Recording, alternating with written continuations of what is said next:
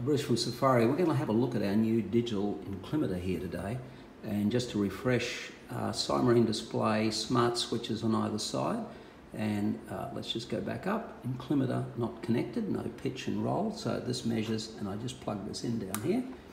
And hey presto, up it comes. So this measures uh, pitch and roll. So as I move it either direction. So it's perfect in a four-wheel drive for a rooftop tent to see whether your rooftop tent is level. Now, as you can see here, it's not calibrated. And so there's a very simple way to calibrate that, which is just to hold the button on here. It flashes red, and when the LED down there is flashing red, there it is then now, up we go into the level position. Now this is our blue heeler case, and we just, it goes onto the top of the case, and I just hit the calibration button up there, and there it is, it's going up to perfect. No need for any external wiring um, just an absolute perfect setup. How good's that?